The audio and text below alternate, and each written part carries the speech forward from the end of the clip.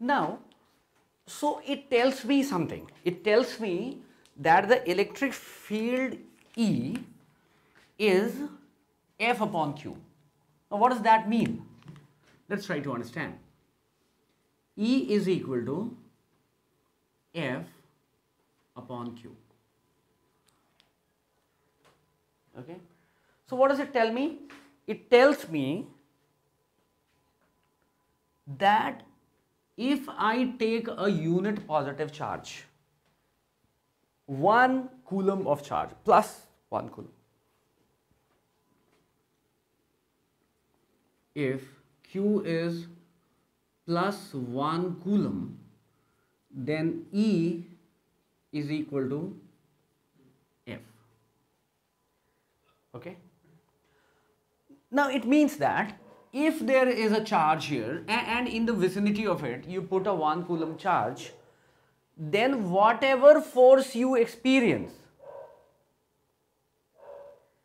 is the electric field. What does it mean? It means that the magnitude of the electric field is the same as the magnitude of the force. The direction of the electric field is the same as the direction of the uh, of, of the of the force. Right. So E is equal to F. But there is a trouble. A, a charge of one coulomb is a huge amount of charge. Now that charge when, when placed in the vicinity of, of Q will distort the electric field of Q itself. Okay. So we need to put in a small charge. So we need to put in a small charge Q, find out the force and then divide that force by that Q to get the electric field. Okay? And this charge should be as small as possible. So you will find the definition of electric field as as this.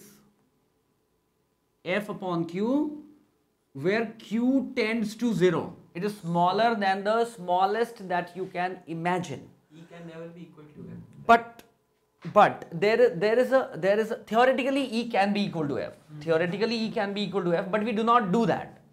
So so what we are saying we put as small a charge as possible smaller than the smallest that you can even imagine but the smallest charge that you can find in the nature of the stable charge is e.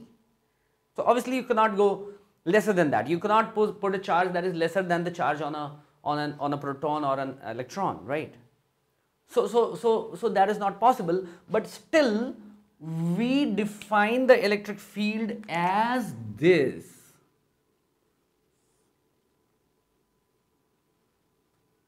And we do not take this route of q is equal to plus 1 coulomb, but theoretically saying yes. You keep on putting the charges.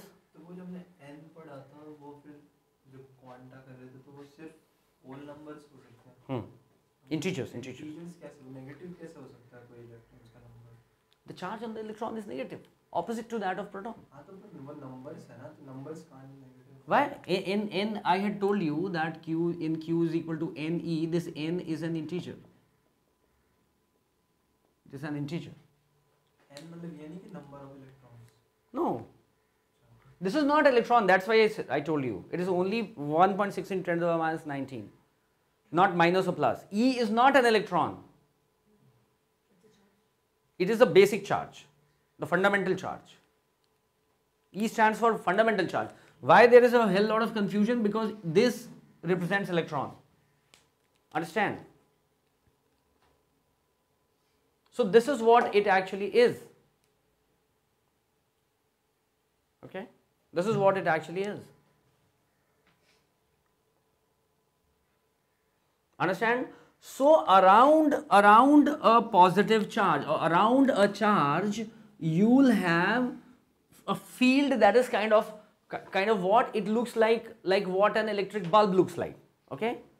If you have seen a photograph, maybe maybe brighter here, maybe brighter here, and darker and darker and darker there.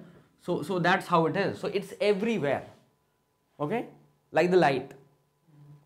Why? Because farther you go, farther you go from the from the source uh, sorry farther you go from the source lesser does this electric field become. Correct? Okay? No it'll it'll become zero only at infinity. So it's everywhere. Everywhere. You put a 1 microcoulomb charge here and go to the end of the universe there will be some field there. Why? Why not? Why not? Whatever it is, it is 10 to the power minus 200, but it is something. It has to be something, correct? Everything in this universe is that's why interacting with everything else in this universe. But, but the electric field is conveyed at the speed of light only. So if you put a charge here, maybe reaching the end of the universe might take it a billion years for the field to be felt there. The speed of the speed at which the electric field is conveyed is not instantaneous. It travels at the speed of light. Later, you'll understand those things later. But but but you'd understand it better if you if you understand some of electromagnetic waves. That is chapter eight, right?